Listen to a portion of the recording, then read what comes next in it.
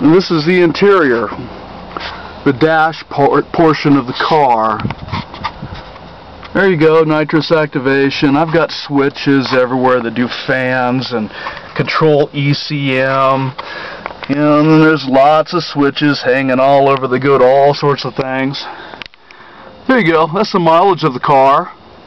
97,500, yeah, 97 97,585 miles on this car. Digital dash. Scan master, turbo controller, propane system, nitrous activation on the switch, Lear's interior. I graded a probably a 4 on a 10 scale. It needs to be replaced, at least up front. The back seats are immaculate. There's nothing wrong with the back seats whatsoever. They're beautiful, they're mint, which is typical of these cars.